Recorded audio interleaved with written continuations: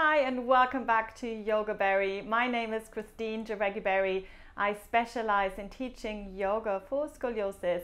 And in this video today, I've got five tips for your yoga practice if you are suffering from scoliosis. So let's get right into it straight away with tip number one.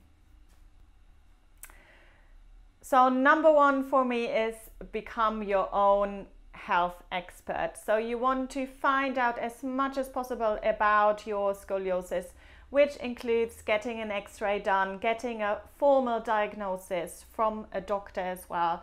Get as much information as possible. If there's anything that they would suggest that you do or don't do, um, we don't judge straight away what they say or, or think about if it's right or wrong. Just take it all down, take lots and lots of notes.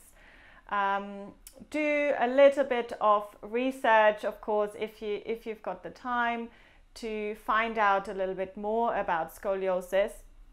But really, it's any any um, information that you can collect will be so valuable. And and I always have my students draw their scoliosis curvature as well because it's really, really helpful just to visualize what your spine looks like and what effect this might have on the rest of the body. So, all the muscles along the spine, the, the organs, the, the whole system, and how the body tries to compensate, obviously, in space when there's a curvature somewhere along the spine.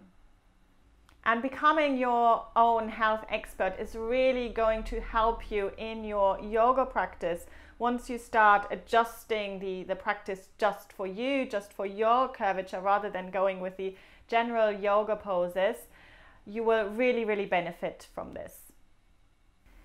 Tip number two would have to be find a qualified yoga teacher that can help you with your scoliosis. There's plenty of yoga teachers out there in the world.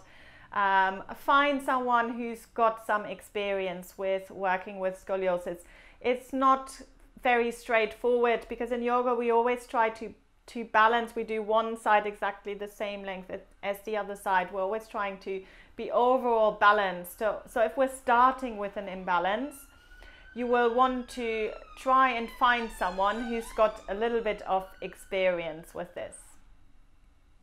Number three is start to get practicing at home. So it's always great to go to a group yoga class.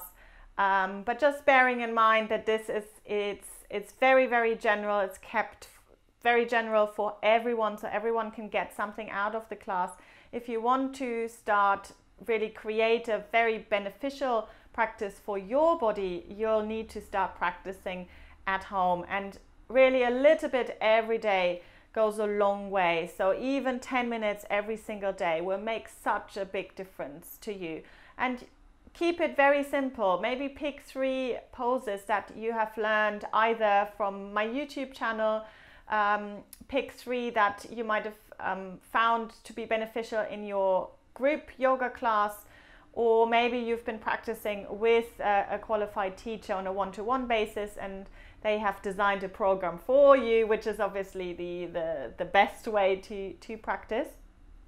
But otherwise, keep it very simple. Practice three poses to begin with, and then you can slowly start to build it up. And then we try to mix it up a little bit so we don't start to get other um, imbalances in the body, obviously. So we always want to keep it a little bit varied. But start with three poses and then get really, really good at them, and then you can start to expand from there.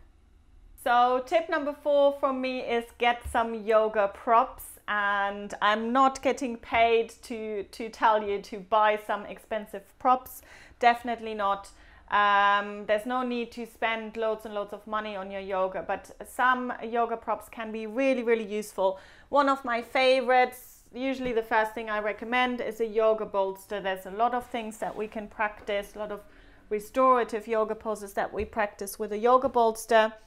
Um, I use bricks very much. So these are my yoga bricks. They look like this. Um, blocks and yoga belts. One of these um, kind of D-ring belts. Very, very useful for your practice. I use blankets a lot, so hopefully everyone's got some blankets, some cushions are really, really great. And then I use these cork um, wedges as well. So this is becoming a little bit more specific. So not one of the first things you might want to buy, but very, very good to um, adjust your, your supine, your lying down poses and seated positions as well. Tip number five is always, always monitor yourself. So you want to monitor yourself during the practice. How does your body respond? You want to monitor yourself after the practice. How does your body feel right after your practice? And how does it feel the next day? So if you're feeling really, really achy the next day, obviously the, the muscles will have done some work, but always ask yourself if, if it's maybe been a little bit too much. So always making sure we never want to um, experience pain in, in yoga. So if there is pain, there's definitely no gain. So get out of the pose, modify it, do something different. Um, we always want to really work in the in the comfort zone and some things might feel uncomfortable to begin with and we're trying to distinguish between pain um, which is sharp which is localized one point somewhere in the back where you can point your finger um, that is pain. If it's a larger area then then that might be muscle tension um, and that can slowly be dealt with and that can be released. But definitely monitor yourself write it down what you experience. And again we're coming back to point number one become your own health expert. So taking that responsibility for your body for your practice you know your body best. You really really need to get into it as much as possible. You're the one living in it in it at the end of the day. So it's in your best interest that it's strong that it's healthy and that you're feeling happy in your body. So once you've become a little bit more confident with your own, with your home practice, you're monitoring yourself, you know more or less what you're doing, you will find enormous benefits um, with your yoga practice. You will find that you're starting to trust your body again. And this has been a huge learning curve for me over the last years, as long as, as far as I can remember um, really because I was diagnosed when I was five years old. So I've kind of grown up with the with the condition, always had to do something about it in my own body. And it's only once I started to become a little bit more serious about my yoga practice that I really started to trust my body again, that I started to work with my scoliosis, accepting it, not trying to change it, but really feeling as comfortable as possible in in my own body feeling as strong as possible and just enjoy living in your body. So i really hope that you found this useful. Feel free to join my yoga for scoliosis community over on facebook really really great place to meet other people who are going through the same thing, other people who um, are happy to answer your questions as well. We motivate, we inspire each other. So we would love to have you in that community. If you like this video, please leave me some comments. Let me know if you've got anything to add to that list.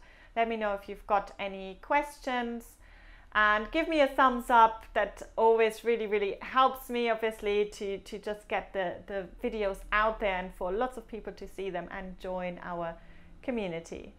So that's it from me today and i see you very soon for the next video